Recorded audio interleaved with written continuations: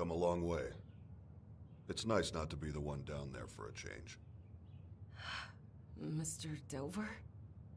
I think you can just call me Raymond at this point. Do you always just pass out and wake up on the floor? It takes a lot out of you.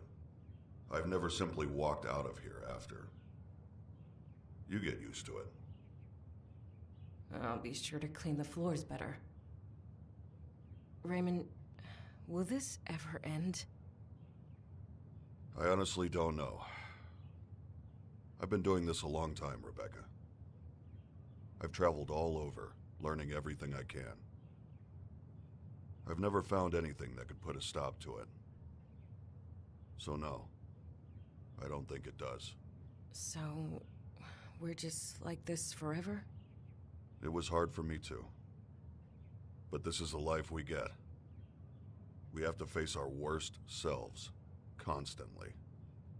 But the better we know ourselves, the stronger we are.